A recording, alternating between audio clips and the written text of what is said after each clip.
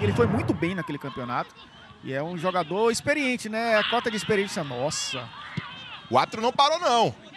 Finalização do Abner e o goleiro faz a defesa. Eu achei um lance meio forte ali, né? Eu a gente ouviu. parei aqui porque, nossa. É, realmente foi falta, o árbitro deu vantagem. Guga coloca o Kel Baiano para correr, ele ganha na velocidade, entrou na área, cortou para a direita, Vitinho! Para fora! Vitinho tava com o gol aberto. O Kel Baiano foi inteligente demais. Fez o corte, o goleiro ficou no meio do caminho. E olha como ele olha para trás. Viu o Vitinho, um cara que conhece esse gramado, conhece essa trave, só que ele pegou muito embaixo da bola.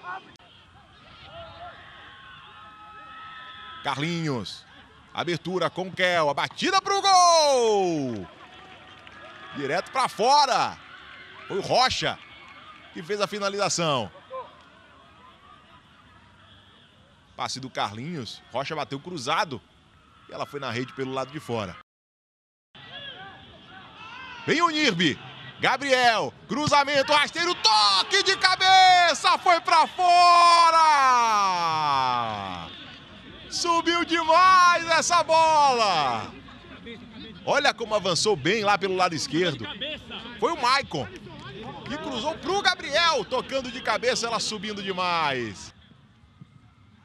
Arisson faz o cruzamento. A bola sobra pro João Grilo. Cruzamento mais uma vez para área. Olha o toque de cabeça! Marcão defende!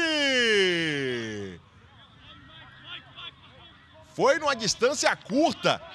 E mesmo assim o Marcão conseguiu defender. Olha aí, a bola quicando no gramado. Estava bem posicionado. Almir entra no lugar do Vitinho. Cruzamento do João Grilo. Toque de cabeça para fora! O Rambo tentou. Tava sozinho. Baianão 2022. Apoio Cicobi.